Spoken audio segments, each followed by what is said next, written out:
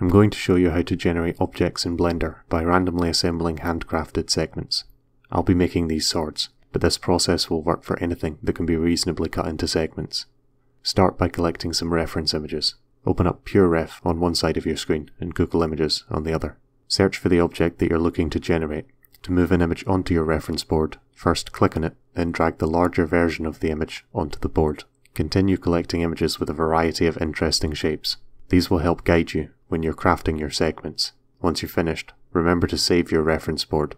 Now it's time to decide what segments you'll be splitting your object into. Open up a typical reference image in your paint editor of choice. I used Krita. Add a new layer and bring its opacity down low. Switch to the polygon tool and set its fill to foreground color and its outline to no outline. Then draw polygons over your image with a different color for each segment. I also added labels to mine. Once you're done, remember to save your image. Now it's time to start modeling segments for your generator. Fire up Blender and delete the default cube. Create a collection for each type of segment. Each segment that you build will be in its own collection, nested inside its type collection, like this. Use Blender's modeling tools to create some segments, using your reference board as inspiration. Once it's finished, the generator will work by starting with one root segment and growing the object out of it by adding other segments on so consider which segment you want to be your root. For my sword generator, I'll be using the grip as the root. Once a segment is placed, the generator will need to know what to place next and where to place it. Put an empty object in the segments collection. Position that empty object where you want the next segment to be placed. Add a custom property to that empty object and name it collection and set its type to string. Then set the value to the name of the segment that you want to go there. This empty is at the top of the grip so I set the value to guard, so that when the generator places the grip, it'll add a guard above it. I also added one to the bottom of the grip with a value of pommel, and later, when I made the guards, I did the same, but with a value of blade. So when the generator is running, it'll start by placing a grip, then it'll see those empties, and know to add a guard and a pommel. Once it's added the guard, it'll see the guards empty, and it'll add a blade, and the sword will be finished. Continue creating segments like this until you have at least a few of each, the more you make, the more possible combinations there will be. You can always come back later and add extra segments, or adjust the ones you have. Now it's finally time to write the script that actually does the generating. First, we'll need some imports. We'll need BPY, choice from random, and matrix from mathutils. Then we'll add some constants.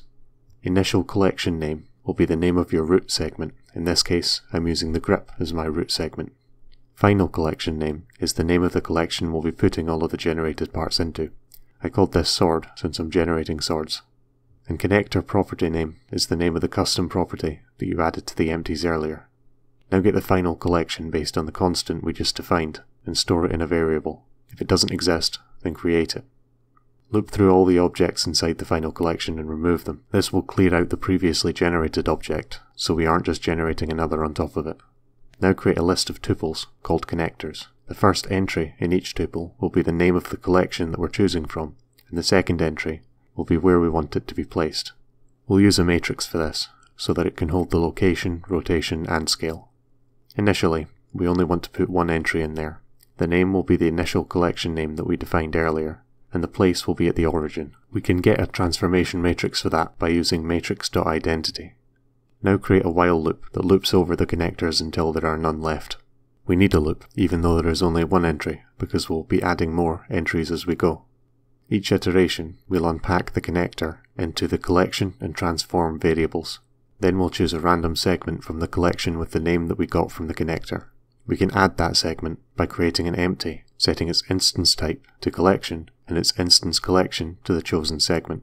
We can position it correctly by setting its matrix world to the transform that we got from our connector. Now link it into the final collection. Now we just need to check if the segment we added had any additional connectors. We can check this by looping through all of the objects in the chosen segment and checking if those objects have the custom property that we added earlier. If an object has that property, then we know it's a connector. We'll need to get the transform of the connector relative to the instance we've placed. We can get that by combining the world matrices of both the instance we just created and the connector we found.